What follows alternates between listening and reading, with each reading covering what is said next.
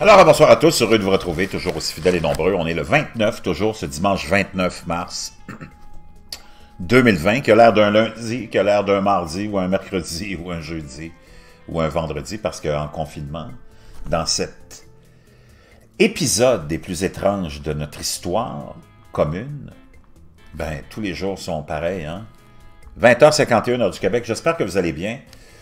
On est en minimum solaire, en grand minimum solaire en plus et les changements climatiques continuent hein, leur, leur, cycle. On est dans un, une période de trois phases de changement de cycle hein, qui, est, arrive simultanément et ça va frapper euh, très très fort. Et on en avait parlé de ça depuis longtemps. Maintenant, au niveau de l'activité sismique, il y a quelque chose qui m'étonne de plus en plus de hein, l'an dernier. On peut dire que le modèle s'est intensifié depuis l'an dernier,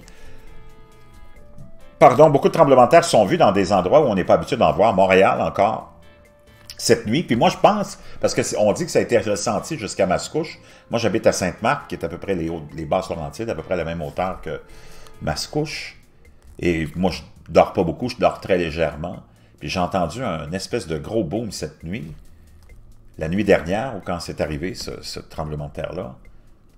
Et ça m'a surpris. Je dormais pas vraiment, j'étais entre deux eaux ça ne m'étonnerait pas qu'on ait probablement ressenti euh, ce tremblement de terre. Là. Un autre tremblement de terre, donc, à Montréal, comme il y en a eu plusieurs depuis un an, un an et demi en France et dans certaines euh, régions du monde où on n'est pas habitué d'avoir des tremblements de terre, séisme de 3,6 quand même, on n'est pas loin de 4.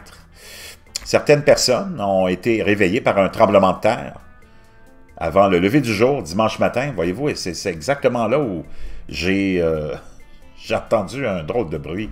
Et souvent, hein, les gens décrivent des, des mais ça provient d'un tremblement de terre. Cette espèce de bruit qui vient de l'intérieur. Ce séisme de magnitude 3.6 a été enregistré à 3h21 et son épicentre était situé à 39 km au nord-nord-est de Montréal, tout près de Mascouche. Pour les compatriotes québécois, on a Montréal qui est ici. Hein. Moi, j'habite à peu près euh, aussi euh, dans ce secteur-là, ici, et c'est arrivé à Mascouche. Même s'il ne s'agissait pas d'un gros tremblement de terre, il a été ressenti jusque dans la région métropolitaine, faisant réagir plusieurs personnes sur les réseaux sociaux dans l'est du Canada, avec une magnitude de 3,6. Il est possible de ressentir le tremblement de terre jusqu'à 50 ou 75 km de l'épicentre, même s'il est typiquement léger, a dit le sismologue Michael Collage. Environ 2000 personnes ont rempli le formulaire sur notre site et on dit avoir ressenti une secousse légère. Le séisme avait une profondeur de 18 km selon Séisme Canada, ce qui n'est pas vraiment très profond. Il s'agit du deuxième séisme qualifié d'important en quelques semaines dans la région. Un tremblement de terre de magnitude 3.3 avait secoué la région tôt le 6 mars. Je vous, en avais parlé d'ailleurs. Donc vraiment, on n'est pas sorti hein, de ce cycle-là. On le commence.